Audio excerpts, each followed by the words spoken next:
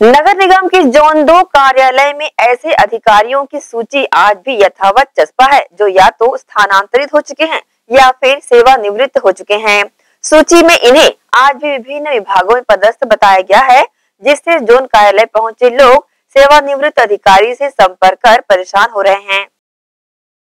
नगर पालिक निगम भिलाई के जोन दो कार्यालय के अधिकारियों की लापरवाही। उदासीनता का खामियाजा जोन कार्यालय आए लोगों को भुगतना पड़ रहा है।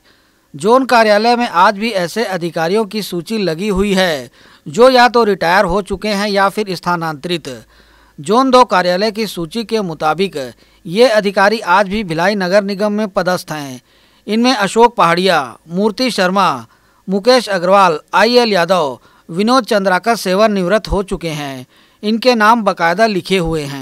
वहीं दो ऐसे भी अधिकारियों का नाम उल्लेखित है जो काफ़ी समय पूर्व से स्थानांतरित हो चुके हैं। साथ ही के एल चौहान को निगम आयुक्त बताया गया है, जो पदोन्नत होकर कलेक्टर बन चुके हैं। जोन दो कार्यालय के प्रवेश द्वार के समीप लगी लिस्ट यहाँ आए लोगों को गुमराह कर रही है। ग्रैंड एशियन न्यूज़ के लिए संजय दुबे।